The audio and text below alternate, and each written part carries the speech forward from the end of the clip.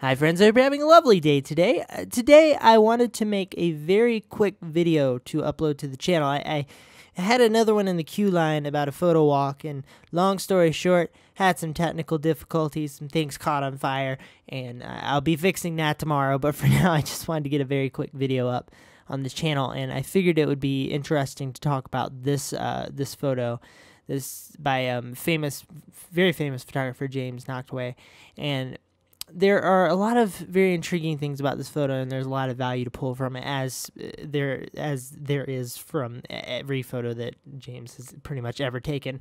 Uh, it, he does beautiful work. The first thing that that I want to take note of with this photo is, so of course this is for a photojournalist, this is a once in a lifetime sort of uh, sort of scene and story to tell and you would you would think that you could that if your photos weren't compositionally stellar that the story would hold up right? Uh, there are many blurry photos and shaky and sideways photos out there that are that are that are beautiful photos because of the story that's being told in them. Um, in this case, yes, but also the fundamentals all uh, many of the of the wonderful fundamentals of compositional goodness in photography are here still.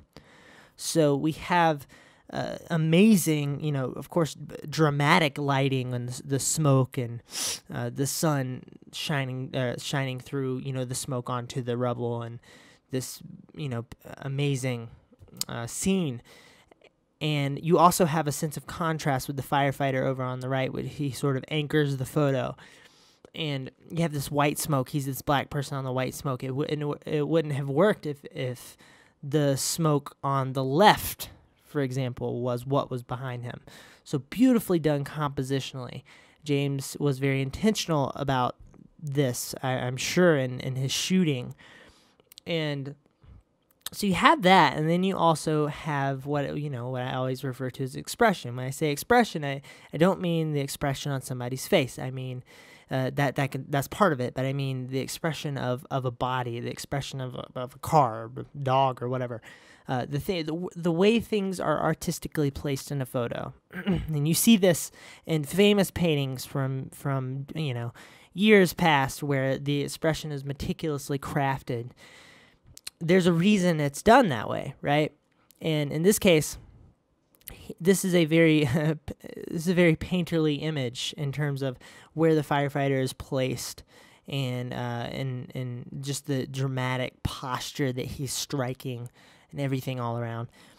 And another thing that I think that's very interesting about this photo is the angle. Uh, or, or, or sort of the wideness of the shot that he chose.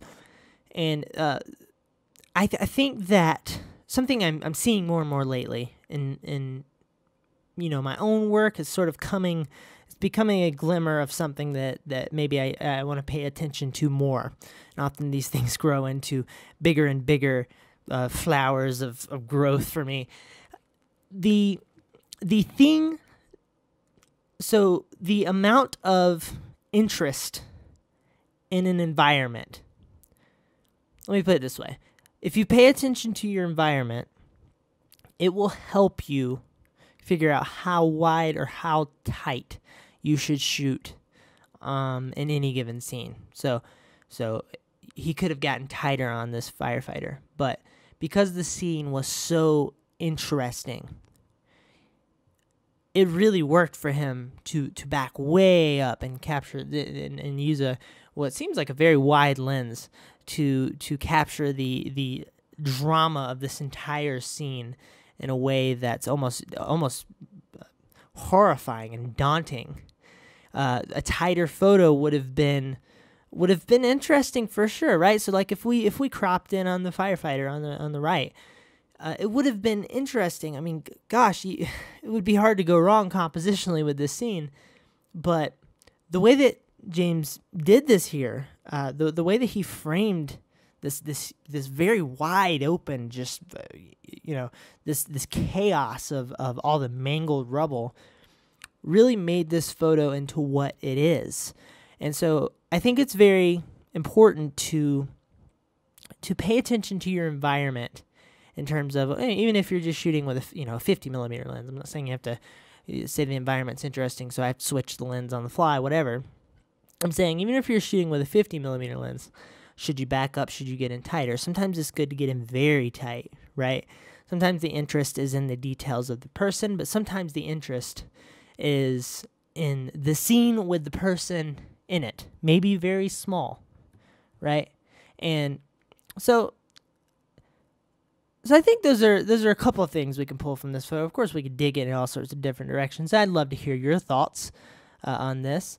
And other than that, thank you for watching. I hope this brought you value. I hope you guys have a lovely day. More videos to come. Goodbye.